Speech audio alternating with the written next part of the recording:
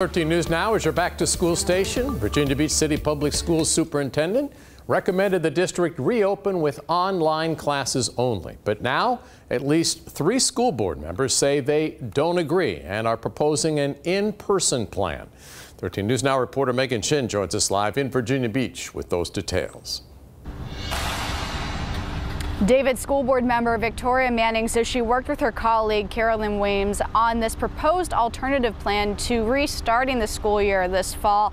And both of them, plus school board member Laura Hughes, signed the proposal. It suggests that teachers and students return to school for class in person instead of online, like Superintendent Dr. Aaron Spence suggested. It's opposing opinions in the largest public school district in Hampton Roads. Virginia Beach Public School Superintendent proposed fall classes pick up again online.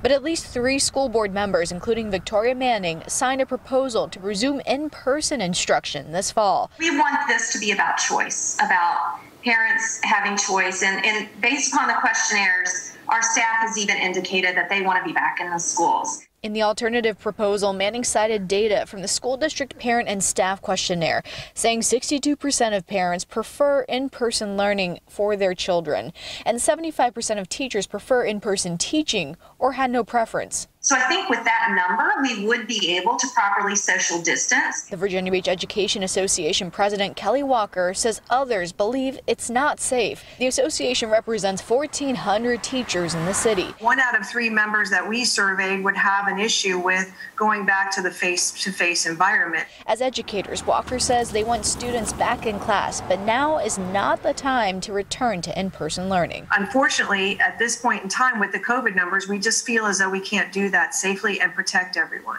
Parents we talked with have different opinions as well. I wish we were returning. I have a child that is in speech therapy. You should err on the side of caution, of safety, because if you're wrong, you can't go back and correct it.